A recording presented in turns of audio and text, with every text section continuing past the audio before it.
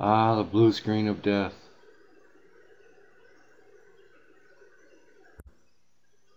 Happens to the best of us. This is the blue screen for Windows 2000. You see here it says to run the check disk F, check for hard drive corruption. Uh, it's forward slash R on the Windows XP. Most times when you get a blue screen, it'll list a file name near the top of the blue screen. And it'll tell you why it crashed.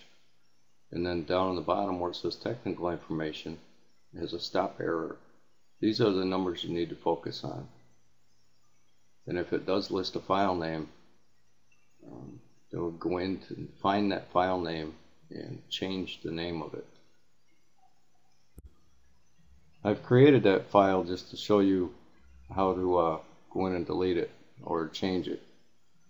Um, if you're in XP, you'll see a search in here.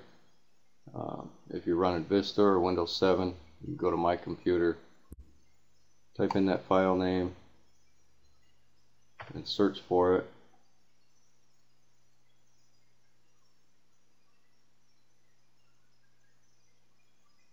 And when it finds that file, uh, you can right click on it and it'll open file location or go to file location and it'll take you right to it and it'll already be highlighted.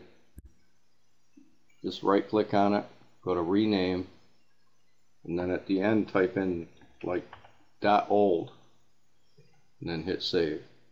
That changes the type of the file so it can't run anymore. And then you should be able to restart your computer. And most of the times it'll replace that file with the one that's that works. So here we have another example. This is a different error which the, this file was the cause of it. So you would go in and search for that file and then rename it to .old. And also this stop error here will tell you a little bit more about what happened to that. And if you Google this stop error, you'll find out more information about uh, this file and what caused it to crash. Google search stop 0x 1, 2, 3, 4, 5, 6 D1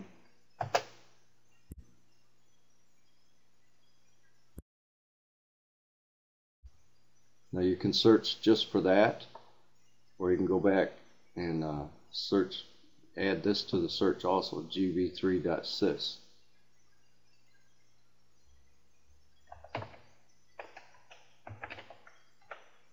Hit search. You see this result here has the stop error in it and also has the file in it. So we'll go into there and see what they say. And then it gives you resolutions to the problem.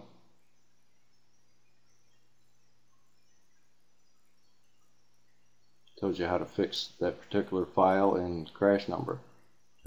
You could do that with any one of these stop errors and, and uh, hopefully it gives you a file name also. But if there's no file name then just enter in the stop error into Google, the first letters.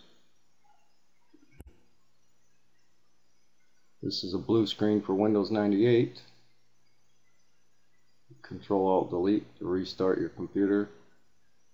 This also gives you uh, a stop error. It tells you where it happened. And you can type these numbers into Google and it'll take you to the same type of troubleshooting. This is another blue screen, unmountable boot volume. Um, it doesn't lift, list a file name. It does give you another stop error. So we're going to search for that stop error. It's usually six zeros. Stop 0x ed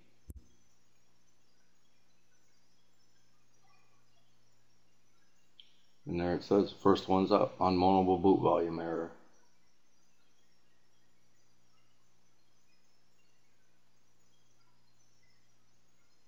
There's a resolution.